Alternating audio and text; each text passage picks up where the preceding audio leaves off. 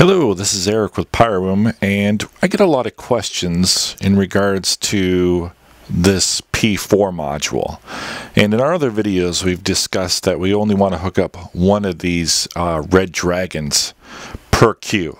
Obviously, the red and black represents one cue, and this is a 4Q module. So, in essence, you would want to fire four red igniters off this. Now, what this test is to see if it'll work with two or three. So what I did on cue number one, it's called series. In this video, it's, we're not going to discuss the difference between series and parallel. But what we did is we hooked up a red dragon in series, and we have two of them here on cue number one.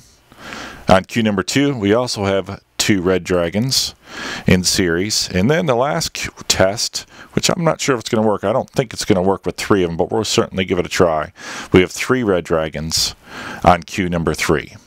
Again, it's recommended that you only hook up one per cube, but the purpose of this test is just to see what kind of results you get. We wanted to run a couple tests on two just to get a little variety. These are just one meter tag, uh, excuse me, red uh, one meter red dragons and what I did is I actually removed the rubber band and then removed one side of the clip and what that did is exposed um, you probably can't see it in the video but there's nichrome wire and you'll see it in the video hopefully they'll light up here um, so what we you'll see here is they're opened up. So we have two, two, two. So let's go ahead and give it a test. All the system is on. We got continuity, green lights here.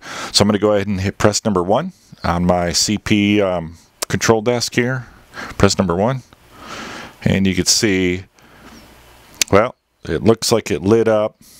It made some smoke, but it's still green. So it actually doesn't even look like it's going to work with two.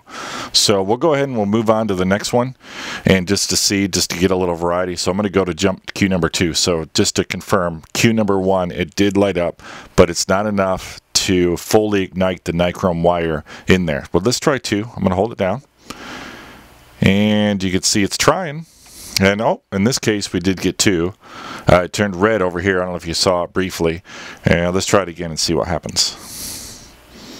So we have, it's still green continuity, so it doesn't look like that one works. So I'm sure certainly the three red dragons aren't going to work, but we'll just go ahead and kick it and see what happens here. Press number three now. And we get very little results. So you can see in series, uh, very poor results. So it's recommended that you would only have one red dragon per cue in series, excuse me, well, you would never have series with just one, but you'll have one Red Dragon per cue on the CP4 module. Hey, thanks a lot for watching. Hope you have a great day and light up the sky and stay safe.